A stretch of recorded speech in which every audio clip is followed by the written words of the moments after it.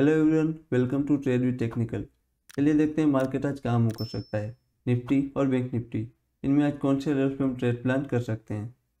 आज निफ्टी का weekly expiry है तो चलिए हम स्टार्ट करते हैं निफ्टी के साथ। निफ्टी अगर आज फ्लैट ओपन होता है, और यहाँ से twenty one thousand five forty five के नीचे फाइव मिनट या फिफ्टीन मिनट में कोई भी कैंडल क्लोज देता है तो यहाँ से हम सेलिंग की साइड ट्रेड प्लान कर सकते हैं।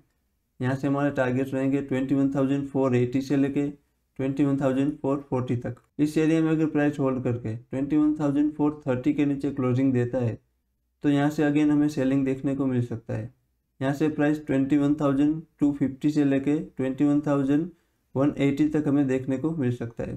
फ्लेट ओपन होकर अगर ये ऊपर की ओर निकलता है तो यहाँ पे दो कंडीशंस होंगे। अगर ये twenty one thousand six eighty से रजिस्टेंस लेके वापस नीचे आता है तो हम अगेन इसे सेलिंग के लिए प्लान कर सकते हैं। और अगर ये twenty one thousand six eighty cross कर जाता है और यहाँ पे इस तरह का प्राइस एक्शन बना के twenty one thousand six eighty के ऊपर या फिर twenty one thousand seven hundred के ऊपर निकलता है तो यहाँ पे हम बाइंग के लिए ट्रेड प्लान कर सकते हैं। क्वांटिटी यहाँ पे हम कम रखेंगे और यहाँ टारगेट्स हमारे हो सकते हैं twenty one thousand seven eighty से twenty one thousand eight hundred तक। अगर निफ्टी में फिर से गैप डाउन ओपनिंग होता है near about twenty one thousand four fifty तो यहाँ से वापस हमें एक फॉल देखने को मिल सकता है। या तो प्राइस ऊपर एक बार टच करने जाएगा twenty one thousand five fifty के लेवल को और उसके बाद नीचे आएगा। या फिर दस पंद्रह मिनट यहाँ पे होल्ड करके डायरेक्ट यहाँ से twenty one thousand four thirty cross कर जाएगा। पर दोनों कंडीशंस में प्राइस हमें twenty one thousand three hundred या फिर टू फिफ्टी तक देखने को आराम से मिल सकता है। तो इस तरह का अगर कोई कंडीशन होता है तो twenty one thousand four thirty के नीचे कैंडल क्लोजिंग के बाद हम सेलिंग के लिए ट्रेड प्लान कर सकते हैं। थर्टी टू फोर्टी पॉइंट हमारा स्टॉप लॉस रहेगा। और टारगेट यहाँ पे हम वन जेम टू या वन जेम थ्री तक प्लान कर सकते हैं। अगर Nifty direct twenty one thousand six eighty के ऊपर कहीं पे ओपन होता है तो यहाँ पे हम बाइंग की साइड एक ट्रेड प्लान कर सकते हैं। बट कंडीशन ये होगा कि यहाँ पे एक बार ये twenty one thousand six fifty को टेस्ट करने आए, उसके बाद जब ये ऊपर निकलता है तो twenty one thousand seven hundred के ऊपर हम बाइंग की साइड ट्रेड प्लान कर सकते हैं। थर्टी फोर्टी पॉइंट का हमारा स्टॉप लॉस रहेगा। टारगेट यहाँ पे हम वन जेम वन या फिर वन जेम टू प्लान कर सकते हैं। प्राइस अगर इस एरिया में ओपन होकर डायरेक्ट नीचे आ जाता है twenty one thousand six thirty के नीचे तो यहाँ पे हम कोई भी ट्रेड प्लान नहीं करेंगे। प्राइस अगर यहाँ से नीचे निकल के twenty one thousand five forty five के नीचे क्लोज देता है तो हम सेलिंग की साइड ट्रेड प्लान करेंगे। या फिर अगर ये ऊपर निकलता है और twenty one thousand seven hundred को वापस क्रॉस करता है तो हम बाइंग की साइड ट्रेड प्लान करेंगे। तो चलिए अब देखते हैं बैंक निफ्टी में हम कौन से लेवल पे ट्रेड प्लान कर सकते हैं। बैंक निफ्टी फ्लैट ओपन होकर फोर्टी फाइव नाइन एटी के नीचे फाइव मिनट या फिफ्टीन मिनट में कोई भी कैंडल क्लोज देता है तो उसके नीचे हम सेलिंग की साइड ट्रेड प्लान कर सकते हैं। यहाँ से प्राइस हमें फोर्टी फाइव सिक्स हंड्रेड से लेके फोर्टी फाइव फोर एटी तक देखने को मिल सकता है।